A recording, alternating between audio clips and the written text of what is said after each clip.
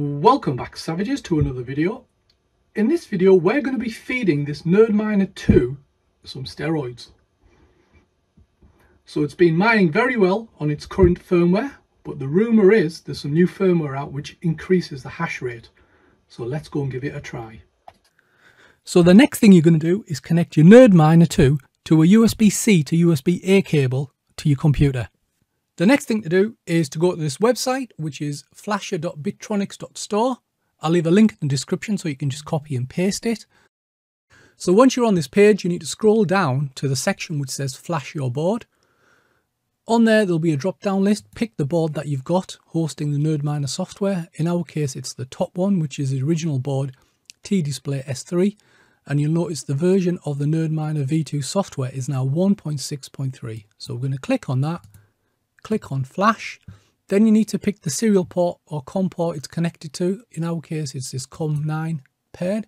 You click on connect and I'm going to quickly scroll down and it should hopefully write the firmware to the board. And then once it's done, you'll get a message just saying successfully flashed NerdMiner V2 1.6.3 original board T-Display S3. So here we are, moment of truth. I've got the NerdMiner V2 stuck back in its original position, USB-C cable on standby, so we're just going to go ahead and push this in. It's got a slightly different splash screen, so that looks pretty cool.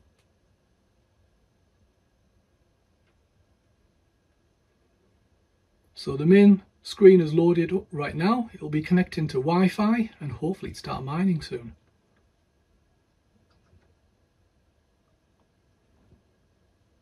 And there we go we're now on version 1.6.3 of the NerdMiner V2 software and we're getting a hash rate of about 75 to 78 kilohash a second. So there you go savages, what are you waiting for? Get your NerdMiners updated to the latest version of the NerdMiner 2 software which is 1.6.3 and enjoy 75 kilohash a second and increase your chances of winning that block. So there you go savages, hope you like this video. I'll leave links in the description to where to get this software from and also where you can buy the NerdMiner 2. If you have any questions, please ask them in the comment section below. Otherwise, thanks for watching and I'll see you savages on the next one.